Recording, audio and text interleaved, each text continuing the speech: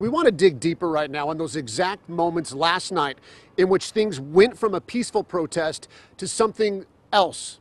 When that moment between police and protesters became violent. Uh, KOCO's Dylan Richards has been following these protests the last couple of nights. He was here as it happened, and he joins us again live downtown today. Dylan, you watched it happen. We were rolling. Walk us through those moments where things took a very dramatic change.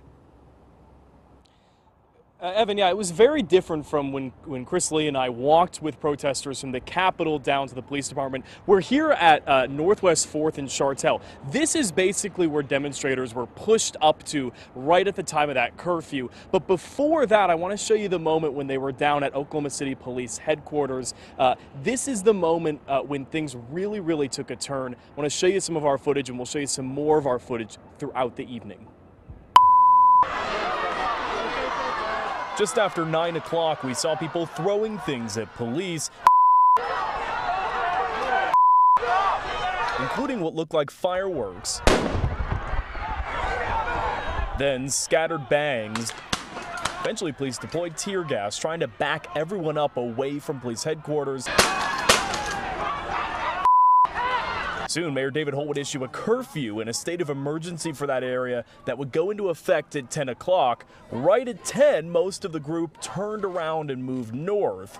Ended up here at 6th and Shartel, the edge of the curfew area. Around midnight, my photographer and I ended up behind the police line. You can see a final confrontation with police and the last of the demonstrators. They standing in the street yelling, police in a line.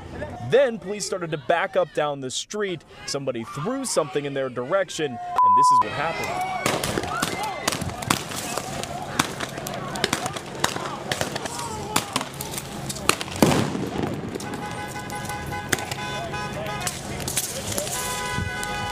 White mask, white mask.